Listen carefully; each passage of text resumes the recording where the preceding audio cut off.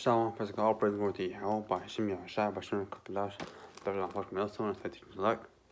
To listen is don't make yourself an enemy of the Most High. Because if you make the enemy of the Most High, you you are gonna be be serving fucking punishment, man. Punishment and judgment. But let's go. Start with Proverbs one and twenty five. So B has set, and it's going. I can start at verse twenty two. How long are you sipping with love simplicity, and you scorn for the light, and their scorning and fools hate knowledge. Turning at my reproof, and behold, all points be unto you, and my word known to you.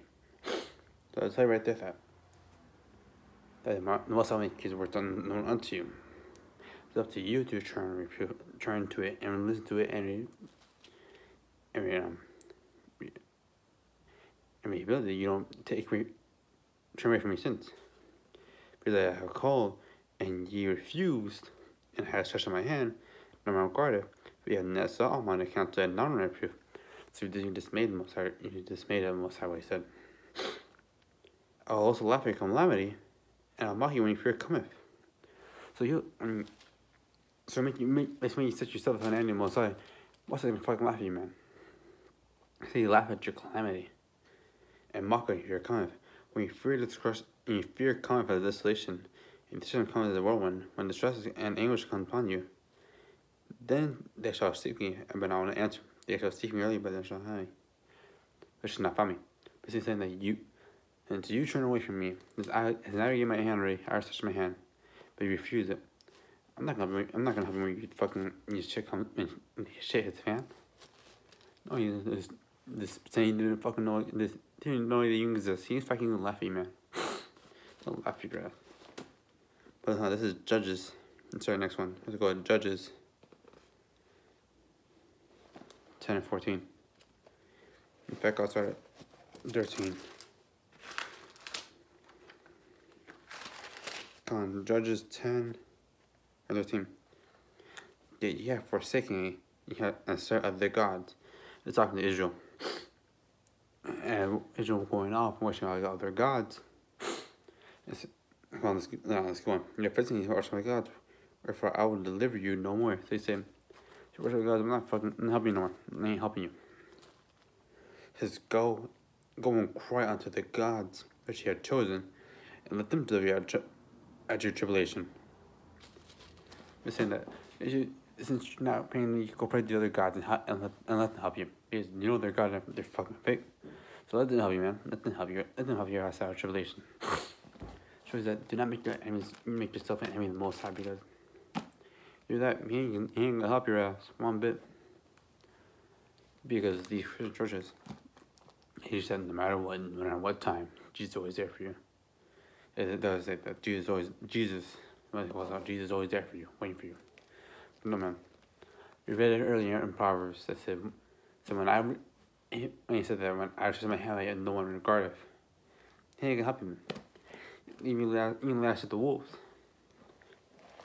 Now let's get let's at Psalms. Psalms verse start at two. So Psalm two. Sorry, verse one. Why do the heathen rage and people imagine vain a vain thing? The kings of the earth set themselves and the rulers of the council to together against the Most High. in these heathen nations, these seven goes in the Most High. And against the annoying saying, let's break let us break their bands asunder and cast away, cast their cord away. This is kicking up.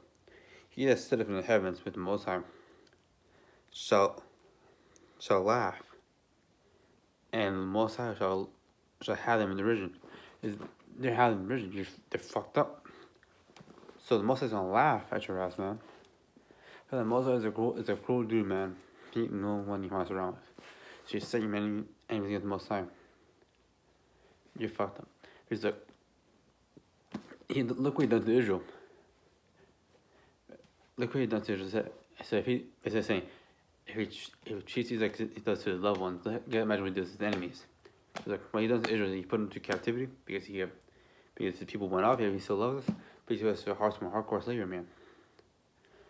So since that, don't make yourself an enemy of the Most High because, you because your judgment is fucking far worse than any other guy on place on this earth, man. Okay, let's, let's get first. Next we get Psalms thirty-seven. Start at verse twelve.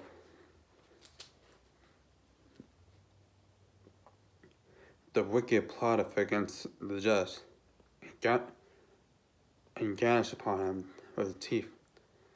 The, Most High shall laugh at him, for he seeketh to see that his day cometh.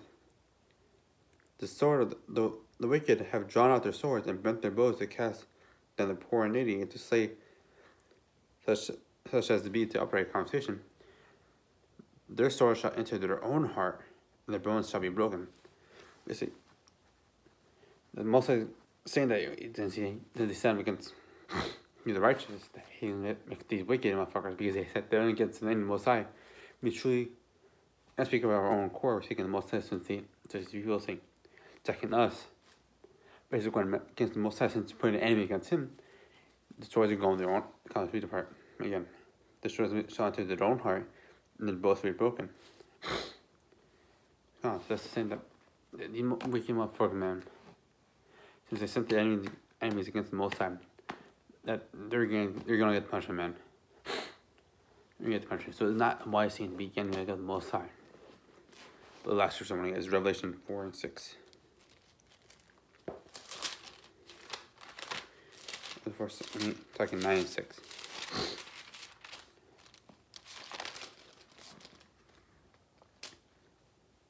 And it's talking during Jacob's trouble they're, they're doing Jacob's trouble and doing the you know all that shit's gonna go down. You know, micro microchip, all that shit, man. All that shit's gonna go down. And those days shall men seek death, but shall not find it. So you seek death, you can't find it. You, you're gonna want to die, you can't find it. And shall desire to die, and death shall flee from them. That's a heavy thing, man. When I want to die, they can't fucking die, man. Because you, if you want to, like, say, they seek death, they can't find death. So if they want to leave this fucking place, because they're going through so much shit, they can't die. Read again. This is Revelation 96. And in those days shall men seek death and shall not find it, and shall desire to die, and death shall flee from them. This is a heavy theme, man. That people are, are going to want to die. They're not going to not be able to. Because they're, because, like, because they said the enemies get the most high. So the message like, you know, you said, since you're against me, I'm not, I'm not you not just die. They put all this whole, this heavy shit. And they don't want to do it. It's like, hey, you ain't get, you get the release of death. But that's all to get Our praise going to a whole by Shimmy Al Shab by Shimmy Until next time, I'll game. Shalom.